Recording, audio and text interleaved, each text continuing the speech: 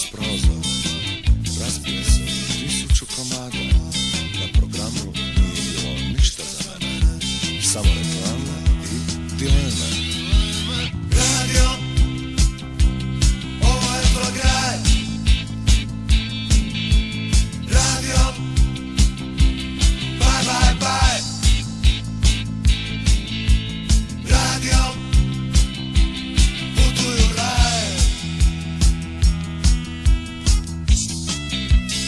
Izašao sam iz kuće, ljudi su se okretali za mnom.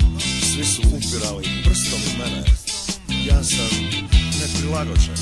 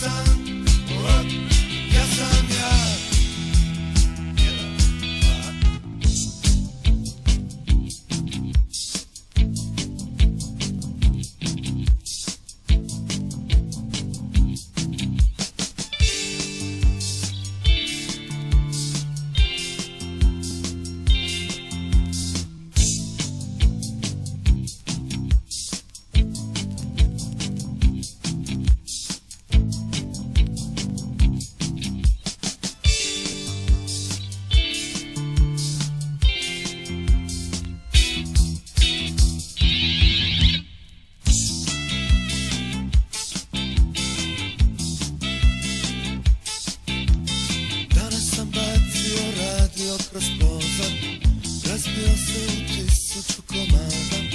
Na programu ništa za mene. Samo reklama